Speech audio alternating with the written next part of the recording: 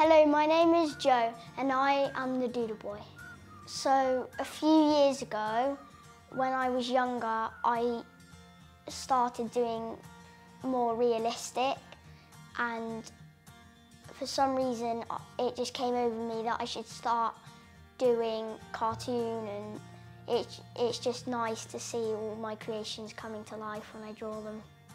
When I finish my work, I normally get a whiteboard, get a pen and just doodle on the whiteboard. I would get told to stop and help my partner who would probably be struggling so. Hi, I'm Greg Whale and I'm Joseph's dad.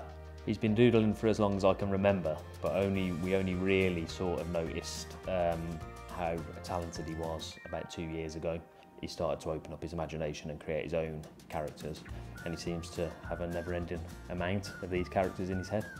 It makes me feel happy that I can express myself because all the creations just come from my head and they just pop out and I can um, like dream of them just coming to life and like me shaking hands with them and giving them high fives.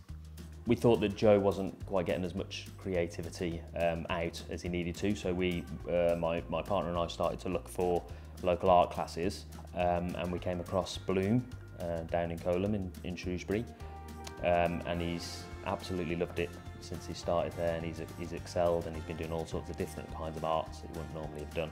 During a conversation with Kerry, the owner, uh, Joe um, was talking about his doodle book that he got at home Kerry wanted to have a look um, to see um, what sort of ability Joe had. And were, everyone's been blown away by uh, the quality of his doodles.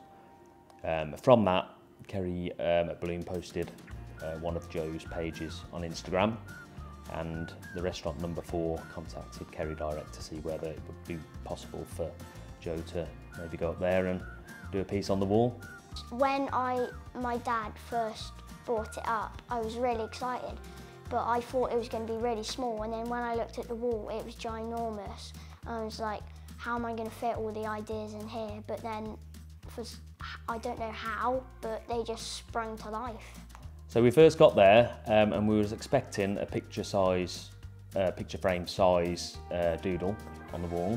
Um, we spoke to Toby um, when we got there, and he, he moved a couple of things because they were in the in the middle of renovations and said, um, you've got the whole wall. And it was, it's literally a whole wall, probably eight foot by eight foot or something. It's a, by far the biggest thing Joe's ever, ever uh, had to take on. Um, my favourite characters, I like drawing like food um, because like it's really funny to see it coming to life. Like other artists, they've succeeded and I really want to be an artist when I grow up.